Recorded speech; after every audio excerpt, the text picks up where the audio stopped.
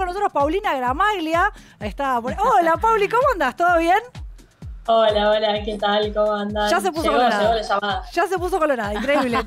10 segundos y ya está colorada.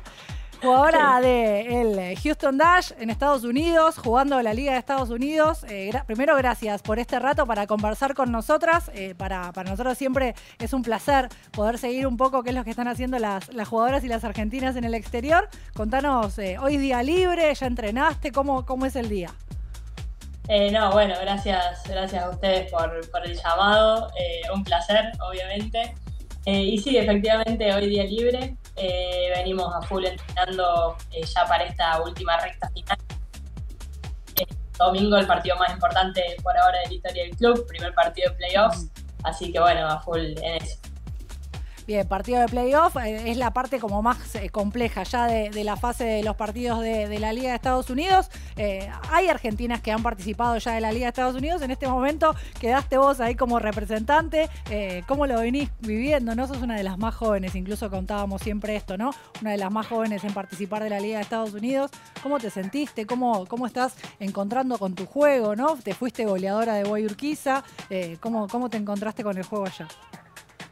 Eh, bueno, obviamente eh, eso que vos decís de ser una de las pocas acá, eh, obviamente que siempre lo tengo presente. Un gusto enorme poder ser parte de, esto, poder estar en una de las mejores ligas del mundo.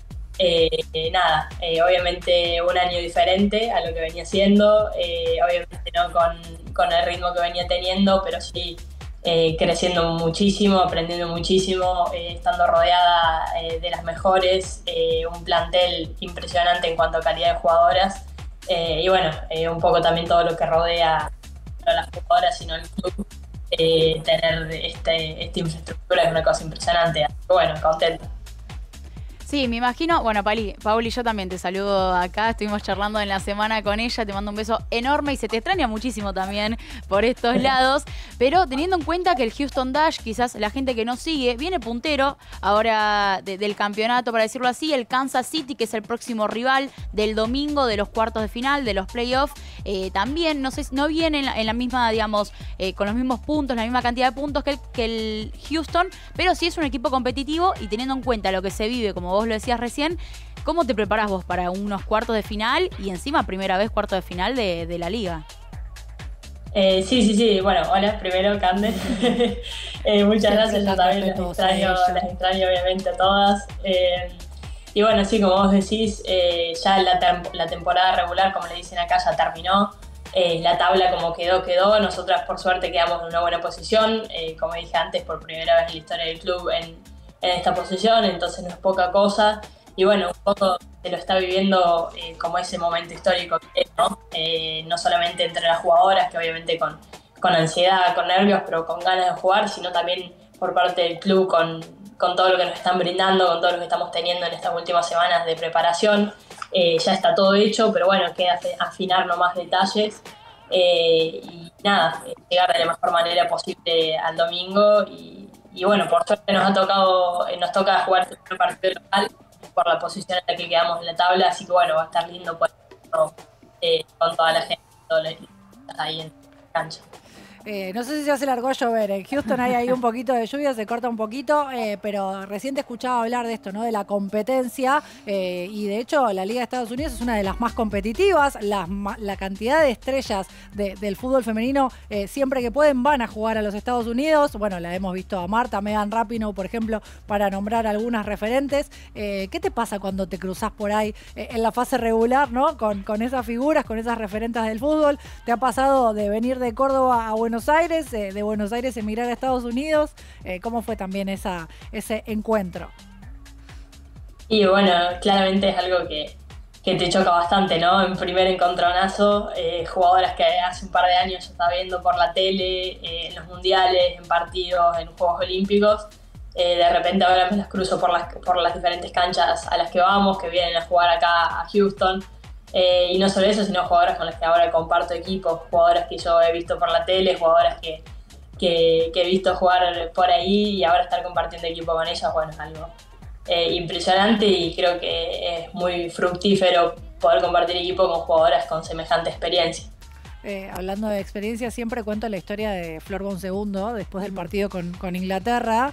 En el, en el cierre del partido, más allá de la derrota, eh, Flor Bonsegundo cuenta que en el primer choque la sentaron y dijo, che, van fuerte. ¿Cómo fue el, eh, el, roce, no? imagino la diferencia, porque acostumbrados al juego de Argentina, que de todas maneras es bastante brusco, digo, imagino que en Estados Unidos es mucho más físico también. Sí, sí, no, eh, por ahí uno cuando lo ve por la tele no, no, lo dimensiona, pero cuando llegué acá me di cuenta de que realmente eh, el nivel que tiene la liga, no solo en cuanto a lo técnico y lo futbolístico puntualmente, sino en cuanto a lo físico, es impresionante. Obviamente me costó ponerme al ritmo, la pretemporada, bueno, justamente para eso, ¿no? Mm. Eh, pero bueno, esos primeros meses, obviamente, intentar ponerse a la altura, eh, no solamente con jugadoras de grandísimo nivel, sino con jugadoras que llevan muchos años jugando en la liga, entonces claramente físicamente ya están aceitadísimas. Eh, pero sí, el cambio es interesante y esos primeros choques, como dijo Flor, se notan. Pauli, em, me voy un poquito más al pasado porque también hay que hablar de lo que fue tu, pasado acá en Argentina, tu torneo de primera división de Guayurquiza, una de las jugadoras más importantes que tuvo el torneo, el campeonato femenino IPF 2021.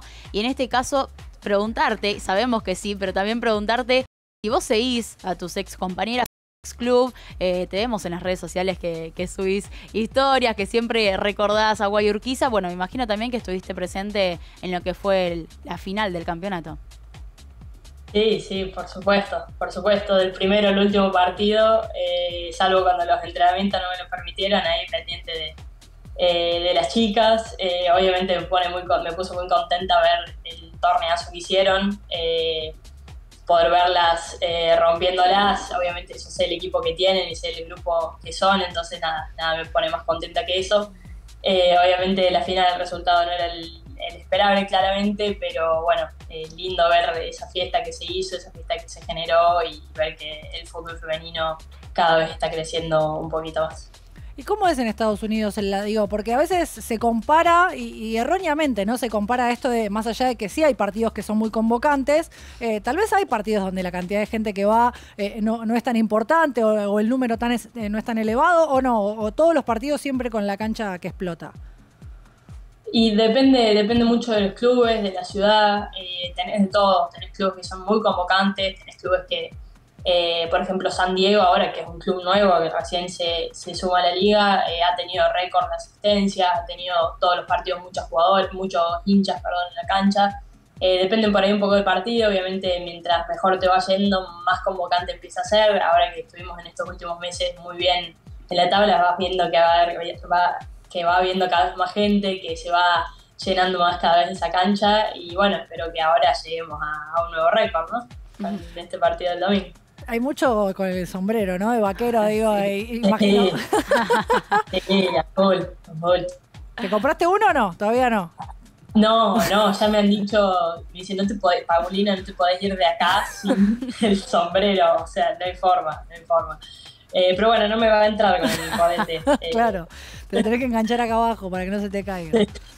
Bueno, digo, Houston también es una ciudad que, transpira mucho fútbol, ¿no? Mucho deporte, también está el caso del básquet, ¿no? Eh, digo, tiene, tiene como muchas actividades. Digo, ¿qué pasa con esto? ¿Cómo es la ciudad? ¿Cómo ves vos el, vínculo del fútbol femenino con la ciudad? Eh, sí, como decís, la ciudad tiene de todo, tiene obviamente todos los deportes eh, profesionales que más se consumen acá en Estados Unidos, tenés fútbol americano, béisbol, básquet. Eh, y lamentablemente eh, debo decir que no es el más convocante el fútbol, nuestro fútbol. Eh, sí se ve muchísima gente yendo a los partidos de, de béisbol, los partidos de fútbol americano, tenés siempre muchísima gente. Por ahí el, el, estadounidense no es tan de fútbol, se nota que no, que no es el deporte que más prefieren. Eh, se ve mucho latino en la cancha, eh, mucho latino realmente. Vos por ahí escuchás que la gente habla en español alrededor del estadio. Eh, pero bueno, son diferentes culturas y diferentes. no sé, se consume diferente el deporte, pero obviamente tenés gente para todo. Pauli, y yo me, gustaría saber cómo te tratan. Yo sé que te tratan muy bien allá eh, en, el Houston Dash, pero hay una publicación particular eh, de, la cuenta en sus redes sociales que, ponían un Hour, Hour Messi. Me encantó, porque para nosotros también Paulina es una gran referente, pero en este caso esa publicación, escúchame. No, está, sí, para, Igual ahí hay que hacer una Pero aparte eh, compite con Ginóbili, eh, compite con Ginóbili, ahí como que tiene, tiene, mucho cartel ahí. Igual esa, esa publicación se prestaba a la confusión. Eh, eso, o sea, ellos pusieron algo así como Our Messi Loving Argentinian y es algo así como la traducción, cuando vos pones en Instagram ver traducción, dice nuestra Messi Argentina, pero en realidad es más por el hecho de decir nuestra fan de Messi Argentina. O sea, era más bien con esa intención, con la traducción se desvirtuó un poco, pero bueno, me parece que no hay nada que me represente mejor que la fan de Messi. Pero te tratan, te tratan muy bien y se nota. Sí, sí, sí, sí, sí, sí, eh, ¿Cómo está el tema de, de cantidad de, de yerba, dulce de leche, alfajores? ¿Está cubierto? Sí, impecable, impecable, realmente el cálculo no me ha fallado.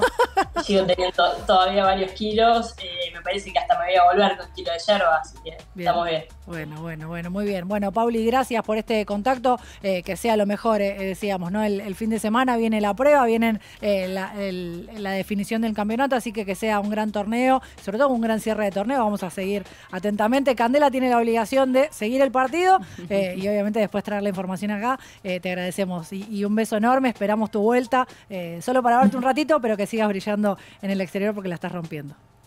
Bueno, muchísimas gracias a ustedes por la invitación. Un abrazo grande para ambas.